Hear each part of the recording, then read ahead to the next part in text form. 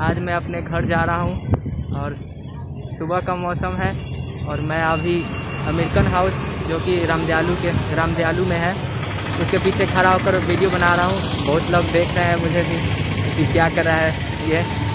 लेकिन शर्माने का नहीं है। स्टार्टिंग है, वीडियो एकदम कंप्लीट बनना चाहिए। तो अभी मैं आपको दिखाता हूँ अमेरिकन हाउस कैसा दिखता है यहाँ का। तो चलिए मैं आपको दिखाता हूँ अमेरिकन हाउस। कैसा दिखता है? मैं आपको दिखाता हूँ अमेरिकन हाउस कैसा दिखता है। तो आप लोग अंदर जाने के लिए अभी अलाउ नहीं है तो मैं आपको बाहर से ही दिखाता हूँ। ये आपको बहुत अच्छी दिखेगी। तो आप लोग देख सकते हो ये कैसा दिख रहा है।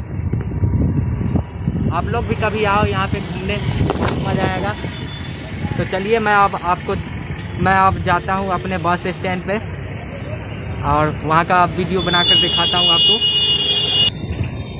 सॉरी फ्रेंड्स अभी मैं आपको बस स्टैंड का वीडियो नहीं दिखाऊँगा। अभी मैं आपको एक अंकल से बात करवाता हूँ। इनके इस इस हाउस के बारे में उनसे पूछते हैं, ये कब बना और किसने बनवाया। तो चलिए उनसे बात करते हैं अब।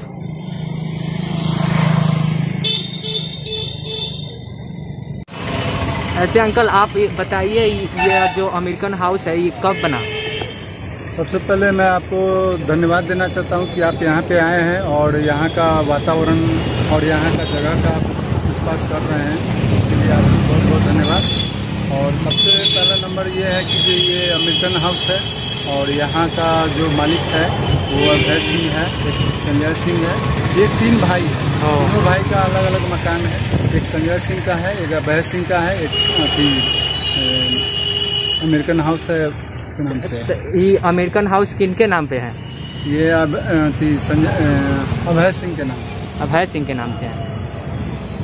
ऐसे ऐसे ये कितना पुराना है? आपको पता है कब बना है? ये कम अभी लमसम पाँच साल पुराना हुआ है अभी बना हुआ। ऐसे इससे पहले छोटा मकान था तो ये लमसम बीस पच्चीस वर्ष से है। लमसम पुराना पच्चीस तीस वर्ष हो गया पुराना मकान हाँ। और ये अभी जो अमेरिकन बिल्डिंग बना है ये तो अभी तो काफ़ी पुराना लगता है। आप बोल रहे हैं कि पाँच साल पुराना है।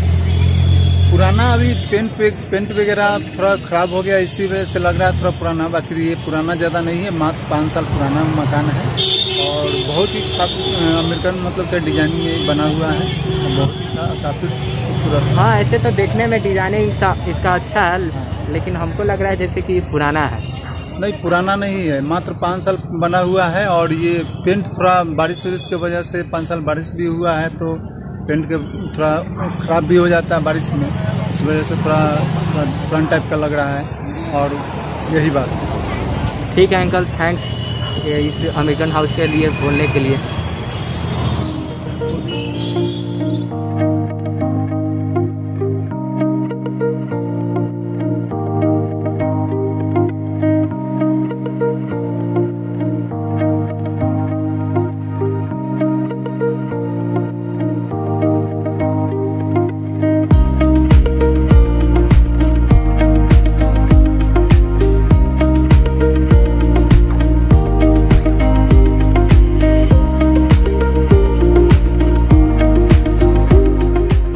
फ्रेंड्स अब मैं आ चुका हूँ रामजानी ओवर ब्रिज के नीचे और मैं बस पकड़ ले जाऊँगा।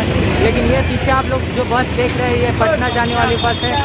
और मुझे लगता है बस मुझे नहीं मिलेगी, इसलिए मैं ऑटो से जाऊँगा अपने घर। ज़्यादा दूर नहीं है, ऐसे तीस किलोमीटर तक चलिए चलते हैं ऑटो में मैं अपने घर की ओर